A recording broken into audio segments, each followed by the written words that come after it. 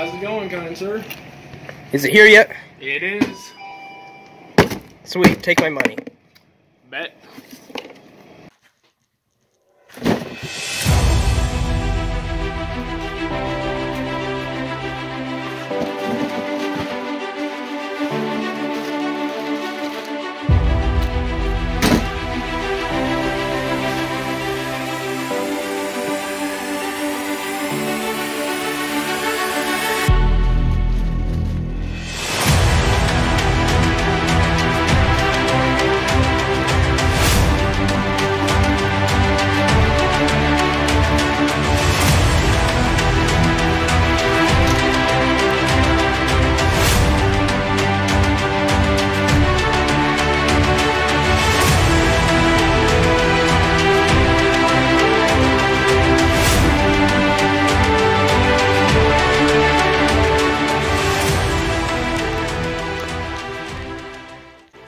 That's right, guys. We just got ourselves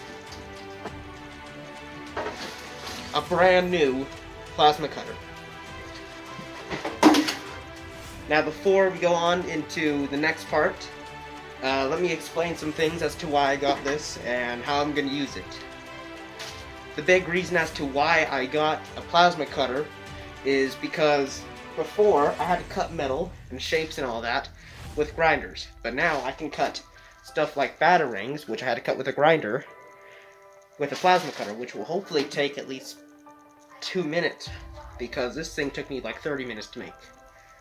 So, it's going to be a lot easier to cut that.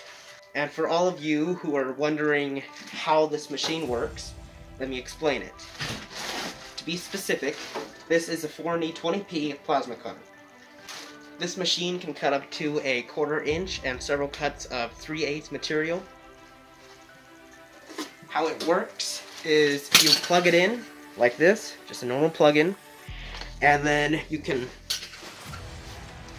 clamp this onto the metal. This is going to be your grounding. Then right here, this piece right here is what you attach to a air compressor and it runs off by shooting a lot of air and then it cuts the metal. So let's go outside and test this and make the first few cuts.